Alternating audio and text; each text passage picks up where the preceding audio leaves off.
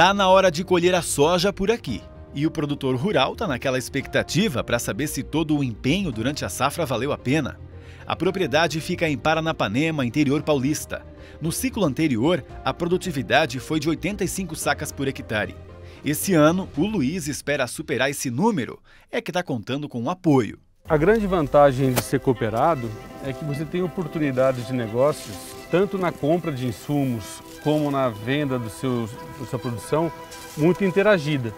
Você está sempre por dentro do que está acontecendo no mundo e no mercado. O mercado de soja flutua muito durante o ano, então você tendo boas informações, você consegue adquirir os seus insumos num preço bem razoável e, consequentemente, vai conseguir vender também num, outro, num preço muito bom. O Luiz percebeu que o negócio ficou mais sustentável desde que se tornou um cooperado. Um modelo que nasceu em 1844, junto com a Revolução Industrial, quando 28 tecelões ingleses reuniram o que tinham para vender em um armazém maior. Descobriram uma forma de escapar das jornadas exaustivas de trabalho e também da péssima remuneração. Viram que a governança em conjunto desenvolveu a sociedade também. Cooperativa normalmente é uma empresa que está uh, acostumada a se preocupar não só com o seu negócio, mas também com o seu entorno.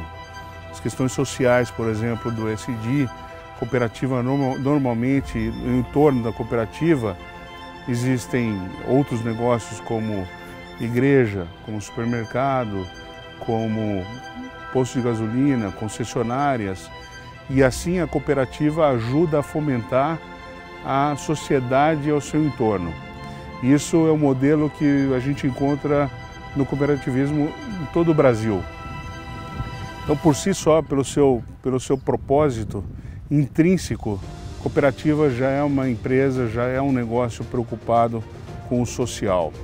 É, e tem dentro do seu regulamento recursos que são destinados à educação, a treinamento, a capacitação de pessoas.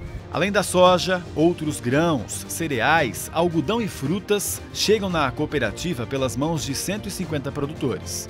O mercado está competitivo e, nesse modelo de negócio, quem produz fica sabendo primeiro o que precisa fazer para estar sempre um passo à frente. E hoje, quando a gente fala em produção sustentável, você, como um grande produtor aqui dessa região, o que, que você faz aqui para tentar manter essas premissas? Porque às vezes a gente acha que sustentabilidade é fazer algo revolucionário. No final das contas, é só otimizar a gestão dos recursos que você tem aqui na propriedade, por exemplo. É, eu acho que uma das principais práticas é o plantio direto. A gente mantém a palha de uma cultura para outra, sem remover muito o solo. É, a gente faz questão de manter as nossas matas sempre protegidas, que estão é, existem, estão aí. A nossa área de proteção permanente em volta da, da, da represa está muito, muito bem conservada também. E no meu caso, eu, a, a interação de agricultura com pecuária se complementa muito nessa parte também.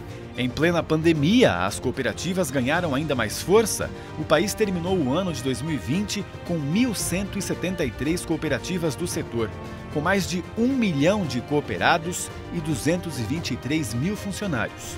A cooperativa tem um papel fundamental de aglutinar, de agregar é, os, os, cooperados, os pro, pequenos produtores, e, enfim, é, e trazer para um, uma estrutura onde a cooperativa investe nessa estrutura e capacita e oferece os recursos eh, necessários para que, de um lado, ele possa aprender e a desenvolver a eh, tecnologia, inovação no campo e as melhores práticas no campo, e também fazer com que o negócio dele seja, seja comercializado, seja, enfim, ah, desenvolvido.